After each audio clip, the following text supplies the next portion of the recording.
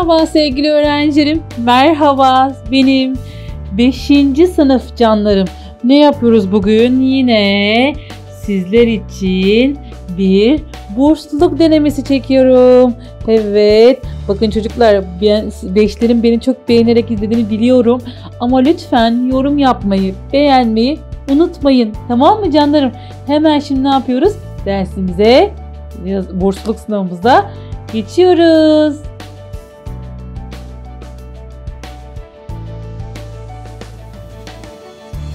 Evet. Yine birinci sorumuz işlem önceli sorusu. İşlem önceliğinde nasıl yapıyorduk çocuklar? Evet nasıl yapıyorduk?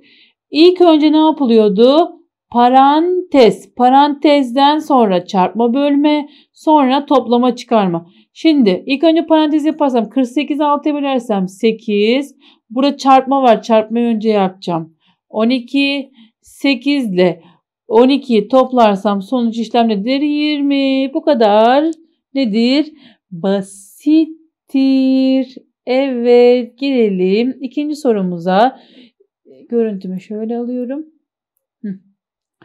İkinci sorumuzda ne diyor? Oya bir çiftlikteki tavukların yumurtalarını 30'arlık kolilere yerleştirilecektir. Çiftlikte 318 tane yumurta olduğuna göre yumurtaları hiç artmayacak şekilde. Bakın buradaki önemli olan cümle bu. Yerleştirirse en az kaç koliye ihtiyaç vardır? Şimdi 318'i 30'a bölelim bakalım. Kaç kolye tam kolye ihtiyaç varmış. Bir kere 30. Bir kaldı. Bakın burada 8'i indiriyorum ama yok. O zaman burada bir sıfır koymak zorunda değil mi? Ama 18 tane artı hiç artmayacak istiyor. O zaman ona bir tane daha ekliyorum. 11 koli olursa nedir? Yumurtalarım hiç artmaz. Evet devam edelim. Üçüncü sorumuz çocuklar bir e, üslü sayılar problemi, üslü sayılar sorusu. 5'in üçüncü kuvveti neydi? 5 çarpı 5 çarpı 5. Yani kaç yapar? 5 kere 5 25. 25 kere 5 125.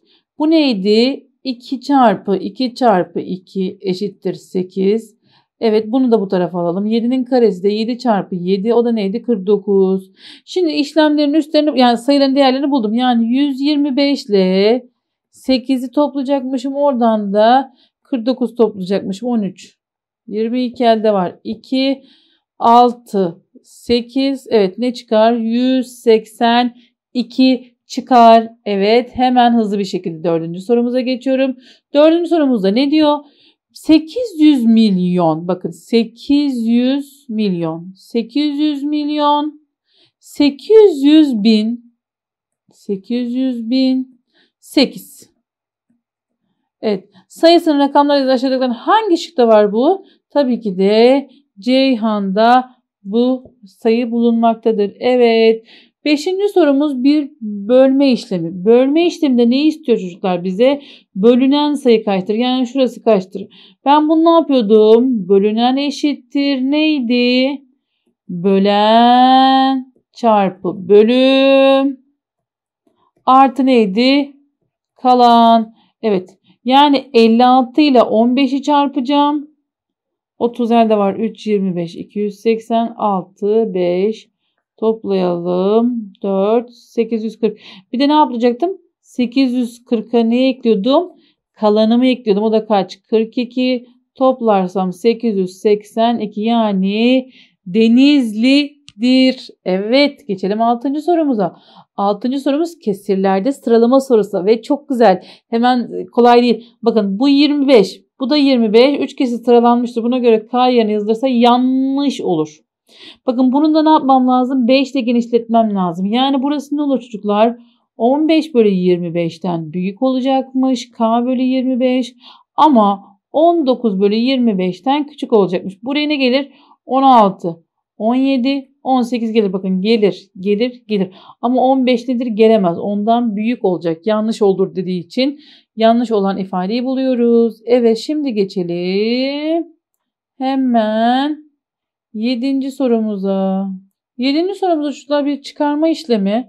7501'den KMT diye bir şey çıkıyormuş ve 5875 kalıyor. Yukarıdaki çıkarma işleminin KMT sayısı kaçtır? Çocuklar bakın bu nedir? Çıkan. Bu nedir? Fark. Bu nedir? Eksilen. Bizden ne? Eksilen. Bizden neyi soru çıkan soru. Çıkanla fark yer değiştiğinde yani 7501'den ben 5875 çıkarırsam da çıkanı bulmaz mıyım? Tabii ki de bulurum. Ee, 1'den 5 çıkmaz. 11'den 5 çıktı. 6 burada kaldı. 9 burada kaldı. 4. 9'dan 7 çıktı. 2.